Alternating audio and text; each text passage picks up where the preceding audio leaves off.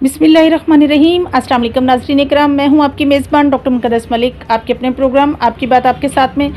नाजरीन इकराम, जब भी कोई इंसान ट्रैक्टर को परचेज़ करता है तो उसकी डेकोरेशन के लिए obviously you know very well के बंदे को अपनी सेफ्टी के लिए उसमें हुक भी लगवाना पड़ता है, बारिश से सेफ्टी के लिए ऊपर छत लगवाना पड़ता है। तो ये जो ट्रैक्टर से रिलेटेड तमाम चीज़ें हैं, वो तैयार करने वाले उमर बलाल मुगल साहब हमारे साथ मौजूद हैं। आइए नाजरीन इकराम, उनसे पूछते हैं कि ये जो चीज़ें तैयार करते हैं, ये किस तरीके से इनकी मैनुफैक्चरिंग करते हैं और क्या क्या चीज़ें यूज़ करते हैं इसमें। अस्सलाम वालेकुम जी। वालेकुम अस्सलाम।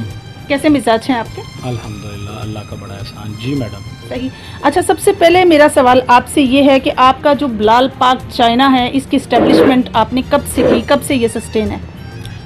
एक्चुअली मैडम जो हमारा डस्का है ना इसको पूरे पाकिस्तान में ज़रूरी आलात की माँ समझा जाता है। ठीक है। हमारे मुग़ल बरदरी से हमारा तल्लक है।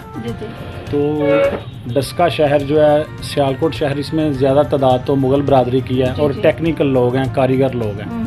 इंजीनियर लोग हैं यहाँ पर। ये हमारे दादा ने 1955 में जब डीजल इंजन जो बने थे ज़िम्मेदार लगवाते थे उससे स्टार्ट किया था। आहिस्ता आहिस्ता फिर हमारे वालद साहब ने हम्म। अब हमारी तीसरी नस्ल इस काम में आ गई है। तो, तो आप और ज़्यादा इम्प्रूवमेंट की तरफ़ जा रहे हैं। जी मैडम अभी मैंने बिलाल पाक चैना पहले हम पाक चैना के नाम से काम करते थे। अभी एक साल मैंने ना अपना कारखाने का नाम जो है ना वो बिलाल पाक चैना से तारफ़ करवाया। तो जो हमारी स्पेशलिस्ट आइटम है ना ये है ट्रैक्टर की हुक ट्रैक्टर के हम्म। पीछे लगती है ट्रॉली को खींचने के लिए। ठीक है। आगे जो सेफ़ गार्ड लगता है ट्रैक्टर के फ्रंट के ऊपर ट्रैक्टर की छत लगती है हम्म। पीछे हल लगाते हैं वो बनाते हैं। हम्म। और एक इसको हम कलाला बोलते हैं। ज़िम्मेदार हमसे लेके जाते हैं बनिया बनाने वाले। ठीक है। ये कुछ प्रोडक्ट जो है जब भी ट्रैक्टर नया आता है तो, तो ज़िम्मेदार हमसे ये चीज़ें ख़रीदते हैं। समझ लें कि ज़िले सियालकोट में माशाल्लाह अल्लाह का ख़ास फजल है। हम्म। कि हमारा एक बिलाल पाक चना जो अब ब्रांड बन चुका है। ट्रैक्टर की जो हुक छत बम्पर हम्म। बैक क्राज होता है मट्टी इकट्ठे करने वाला। हम्म।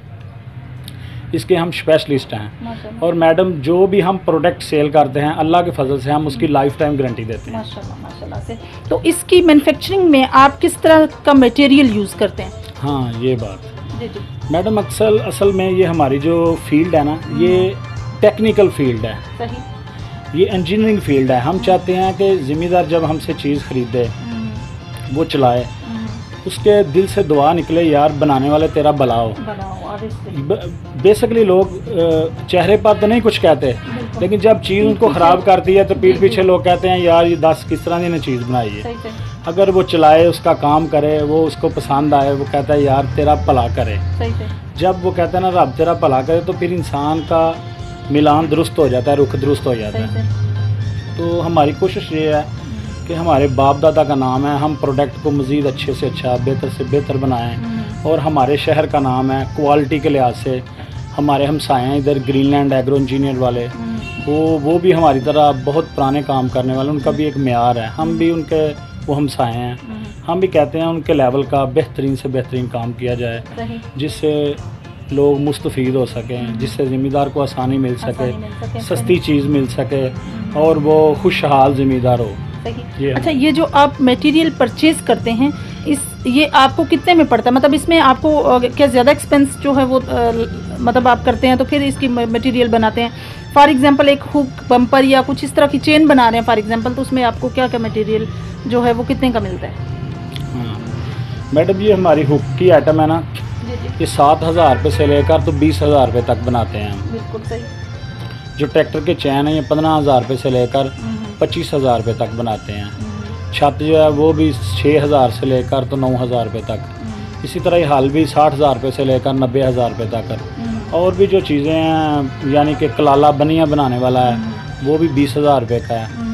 बैक करा है वो चालीस पैंतालीस हज़ार रुपये का है। इसी तरह ये मुख्तलिफ़ चीज़ें हैं। ये हैं वैसे बेसिकली छोटी छोटी प्रोडक्ट। लेकिन ए, हर इस इसके बगैर ज़िम्मेदार का गुजारा नहीं है, नहीं है सही बात है। हमने मुस्तकल मजाजी के साथ इस काम को शुरू रखा है। हम्म। जब बहुत ज़्यादा इस काम में नशेबो फराज भी हैं पिछले बीस साल से मैं कर रहा हूँ। हम्म। तो मैंने मुसलसल ही इन चीज़ों को बनाया है। मैंने कहा यार कि जैसे भी हालात हों ये चीज़ों में लग, लगातार बनाने से फिर ये जो है कि इसमें क्वालिटी बन गई है मैार बन गया अब हमारी प्रोडक्ट ज़िम्मेदार समझ लें कि बिलाल पाक चैना एक ब्रांड का नाम बन चुका है ज़िले सियालकोट में। मतलब लोग परचेज करते हैं हाँ इससे। हाँ जी इन ताला जो कंप्लेन के लिहाज से ज़ीरो परसेंट कंप्लेन है हमारी कंप्लेन नहीं है जो भी प्रोडक्ट बनाते हैं।